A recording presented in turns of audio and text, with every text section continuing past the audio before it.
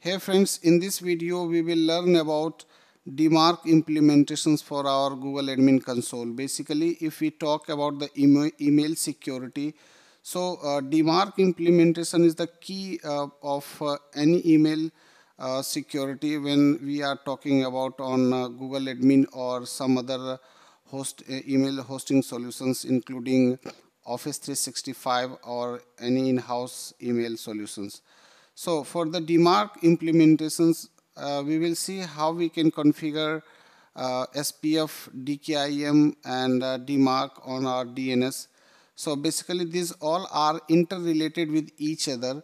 So firstly, we will know about what is DMARC. Basically DMARC is domain-based message authentication reporting and conformance and it is an open technical specification and that is used to authenticate an email by aligning of SPF and DKIM mechanisms. So uh, basically as I told you that we have uh, we will learn about the SPF and DKIM implementations as well and uh, if we talk about DMARC so basically it's a combination of your uh, correct alignment of SPF and DKIM. So what is DKIM and what is SPF? So basically SPF SPF is a sender policy framework and uh, it is used to authenticate the sender of an email with an SPF record in place. Internet service providers can verify that an email server is authorized to send email for a specific domain. Suppose our domain is infoalias.com so uh, how many email servers are authenticated? How many email servers are authorized to send the email on behalf of uh, infoalias.com? So that is uh, that is mentioned inside the SPF. So SPF record is a DNS text record containing a list of the IP addresses or domain name that are allowed to send email on behalf of uh, infoalias.com. So this txt record will be entered on the uh, DNS, uh, DNS service provider where you will specify the list of IP addresses and domain name which is authorized to send the email. So we uh, for infoalias.com our uh, DNS provider is uh, MilesWeb. So here we will see if we have entered the txt record for our email solutions. So just I'm scrolling it down and I can see there is a txt record that is created. V equal to spf1 a mx ip there is an ip address including underscore spf.google.com so this is the uh, basically a txt record and that is notifying that this is a spf record.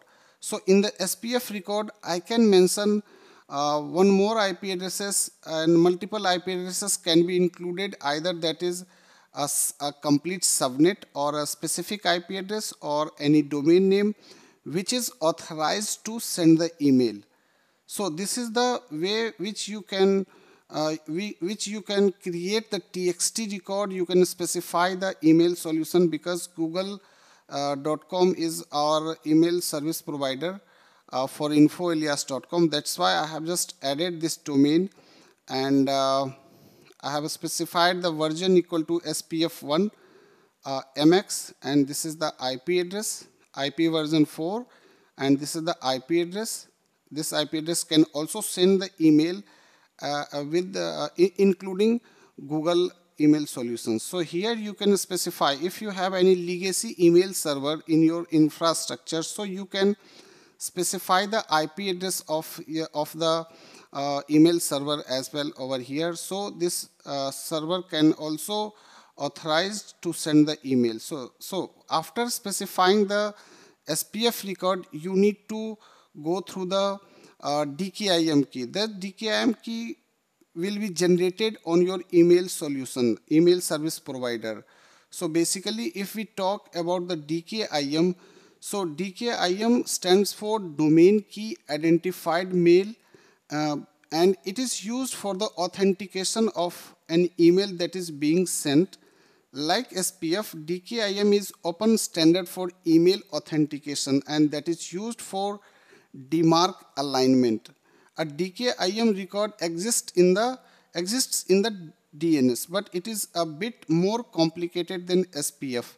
So DKIM needs to be generated on your email solution. So in this case, we will generate the DKIM from Google Admin Console. So we need to go on the Google Admin panel and inside the apps, I will go on the workspaces. Here I will go on the Gmail.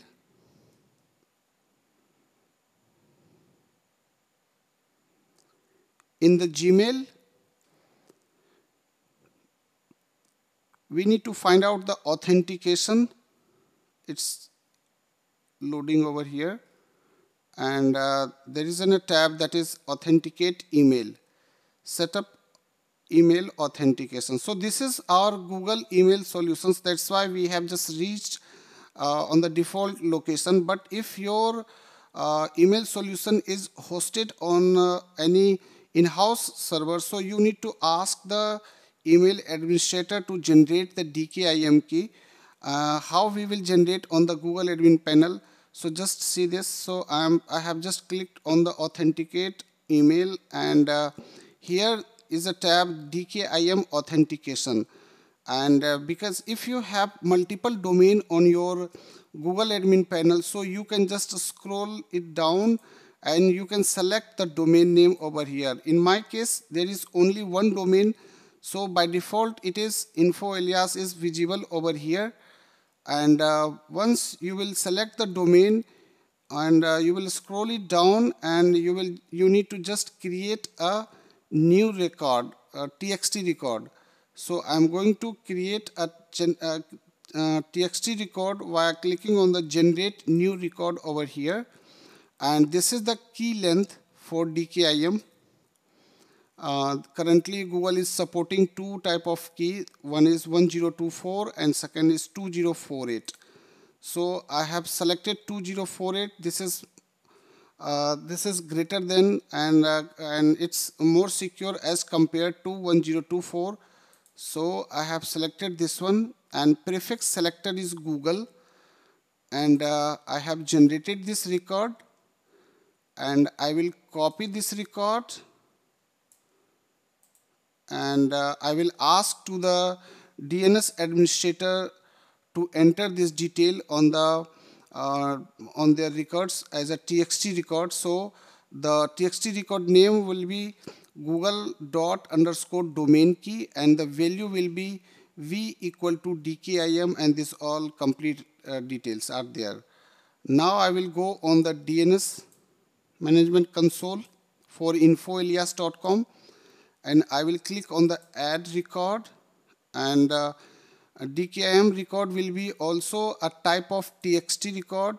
So I will select the record type TXT and here I will specify the name. And the name is here you can select the name. TXT record name will be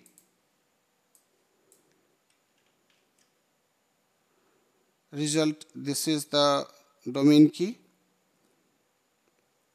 And uh, TTL value is 3600 this is the default time.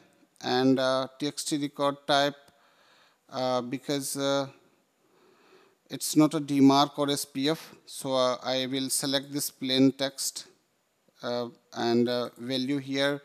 We will enter the value from here. And uh, you need to type over here. So this record has been added. And if you want to verify this record so you can just go on uh, dmarcian.com or some other websites where you can just verify the records which is shared by the email administrator if your email is hosted somewhere in uh, uh, in-house or uh, on, premise, on premises. So just you will go and you can search DKIM validate on the Google or some other search engine. Here you can just see there are the multiple uh, links are available you can just verif cross verify it via clicking on any one of them. And uh, it is just asking for the DKIM selector to verify. Current DKIM selector is Google. So you need to specify the Google. And uh, domain name you need to type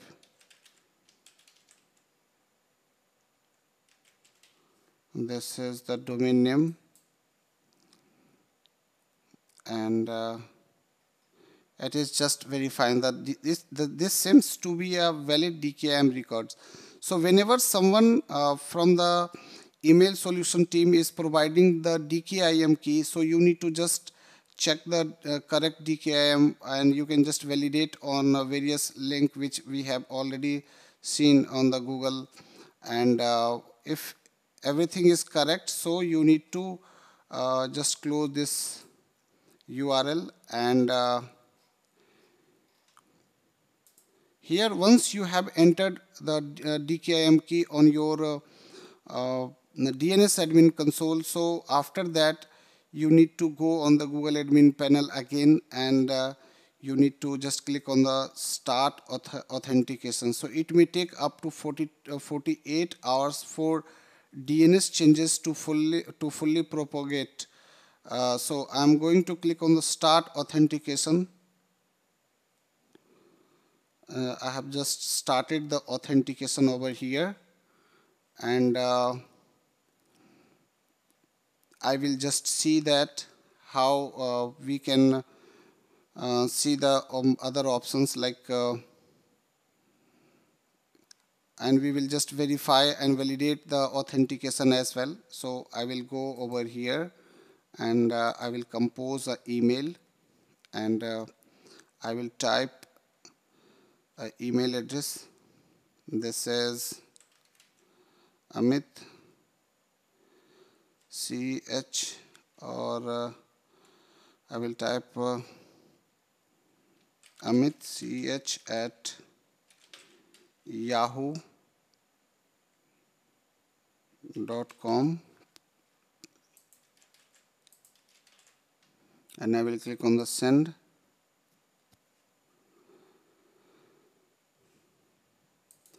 So I have sent the email to uh, amitch at the rate hotmail.com or uh, sorry uh, uh, amitch at the rate uh, yahoo.com so I will see this email on the Yahoo and uh, I can see the email has been received and uh, this is the email which I received from amit.gupta at infoalias.com. now we will see the DKIM key uh, which we have uh, started to authenticate each and every email. So I will see the uh, raw message which is which is received on this account and uh, I need to just find it the DKIM option.